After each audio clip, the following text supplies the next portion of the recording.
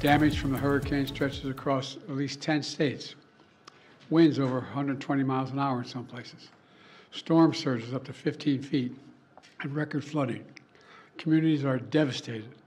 Loved ones waiting, not sure if their loved ones are okay. And they can't contact them because there's no cell phone connections.